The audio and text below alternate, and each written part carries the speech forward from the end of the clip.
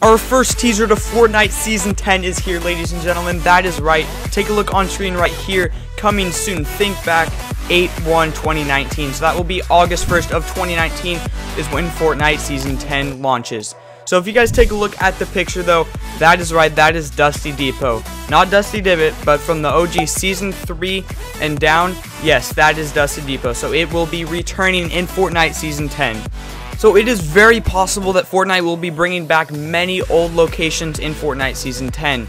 But guys, that is not all. With the overtime challenges hinting to time travel, we could be seeing time travel back to Season 1 in Fortnite in Season 10. So guys, this means we could be going back onto the Season 1 map in Fortnite Season 10, which would just be crazy because we'd be able to visit all of the OG spots, including Dusty Depot, Flush Factory, Factories, all those OG spots.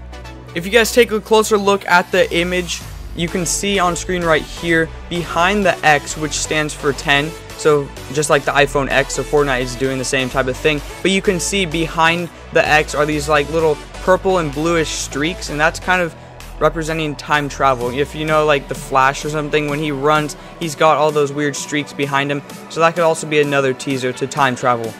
So if you guys are excited for Fortnite Season 10, be sure to smash that like button. And remember, guys, please subscribe if you guys are new to the channel. It really means a lot. And remember, if you guys want to send me a gift, it is greatly appreciated. My epic is It's Parker Plays. I just got a gift from Elegant407, so thank you so much, man. I really wanted the smooth moves, so thank you so much for this. So, guys, thank you so much for watching, and I'll see you guys in my next video.